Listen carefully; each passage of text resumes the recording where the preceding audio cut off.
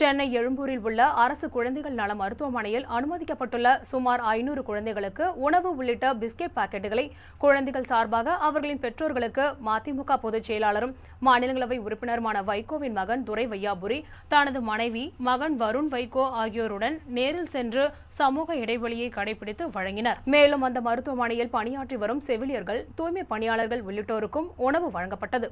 அதன் பின்னர் நமது மதிமுகம் தொலைக்காட்சிக்கு பேட்டியளித்த துரை வையாபுரி கொரோனா பேரிடர் காலத்தில் மருத்துவர்களின் சேவையை நிகழ்ந்து பாராட்டிய அவர் ஒவ்வொரு தனி மனிதனும் தன்னால் இயன்ற நற்காரியங்களை செய்ய முன்வர வேண்டும் என்று வேண்டுகோள் விடுத்தார். தினம் ஒரு நற்காரியம்னு ஒன்று ஒன்று வச்சுருப்பேன் நான் அதை வச்சுருக்கேன் நான். அன்னைக்கு இன்னைக்கு நம்ம தூங்குறதுக்கு முன்னாடி ஏதோ நம்மளால் முடிஞ்ச ஏதோ ஒரு ஒரு- ஒரு ஒரு நல்ல காரியம் நம்ம செய்யணுங்கிறது ஒரு இது வச்சுருக்கேன். அதுதான் நான் உங்களை எல்லாருக்கும் வைக்கிறேன் நான். நீங்கள் காசு பொருள் கொடுக்கணும்னு அவசியம் கிடையாது. நிறைய பேருக்கு வந்து ஆறுதலான ரெண்டு வார்த்தைகள் பேசினாலே அவங்களுக்கு வந்து ஒரு இந்த நேரத்தில் வந்து பெரிய மருந்தாக இருக்கும் வந்தது நிறைய பேர் வந்து பார்த்தீங்கன்னா குடும்பத்தில் குடும்பத்தை விட்டு வேறு மாநிலத்தில் வெளிநாடுகள்லாம் தவிக்கிறவங்க நிறைய பேர் பார்க்குறோம். இப்போ சமீபத்தில் கூட ஒருத்தர் அந்த மாதிரி நான் வந்து ரெண்டு நாள் முன்னாடி பேச ஒரு வாய்ப்பு கிடைச்சது. அவங்களுக்கு பதட்டம். சில பேருக்கு உடல் ரீதியாக பிரச்சனைகள் இருக்குது ஐயோ நம்ம ஊருக்கு போகிறதுக்கு முன்னாடி கொரோனா வந்துருமோ செஞ்சிடும் பதட்டம் பயம். அந்த மாதிரி அவங்க உங்களுக்கு தெரிஞ்சவங்க யாராவது மாட்டிக்கிட்டாங்க செஞ்சுட்டாங்கன்னா ரெண்டு வார்த்தை ஆறுதல். இல்லாட்டி உங்கள் உங்கள் தெருவுலையே இல்லாட்டி உங்கள் தெருவுலையே நீங்கள் வீட்டுக்கு வேலைக்கு நீங்கள் வேலைக்கு செல்கிற இடத்துமோ நீங்கள் தொழில் செய்கிற இடத்துக்கு போகிற வழியில் கஷ்டப்படுறவங்க ஒரு ரெகுலராக நீங்கள் பார்க்குற ஒரு பூ விற்கிறவங்களாக கூட இருக்கலாம் இல்லாட்டி வந்து ஒரு செருப்பு தைக்கிறவராக கூட இருக்கலாம். அவங்களுக்கு நீங்கள் கேளுங்க என்ன என்ன எப்படி உங்களுக்கு இருக்குது வியாபாரம் எப்படி இருக்குது எப்படி பண்ணுறீங்க எப்படி சமாளிக்கிறீங்க.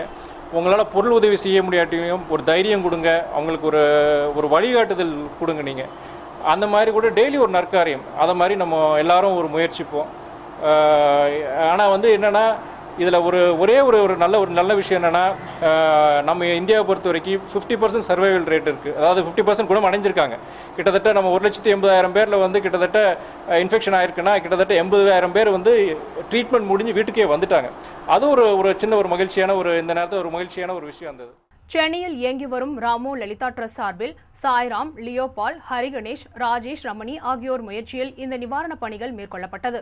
முன்னதாக கடந்த ஏப்ரல் மாதம் அடையாறில் உள்ள புற்றுநோய் மருத்துவமனை இயக்குநர் மருத்துவர் சாந்தாவை சந்தித்து மதிமுக பொதுச் செயலாளர் வைகோவின் மகன் துரை வையாபுரி தனது நண்பர்கள் முயற்சியில் ஒரு லட்சம் ரூபாய் நிதியை காசோலையாக வழங்கினார்.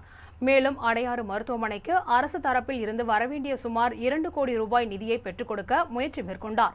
இந்நிலையில் முழு ஊரடங்கின் போது இந்த மருத்துவமனையில் பணியாற்றி வரும் பணியாளர்கள் தினமும் மருத்துவமனை சென்று வர தன்னுடைய வாகனத்தில் தானே சுமார் ஆயிரம் கிலோமீட்டர் வரை வாகனம் ஓட்டி அவர்களுக்கு சேவை செய்தது குறிப்பிடத்தக்கது.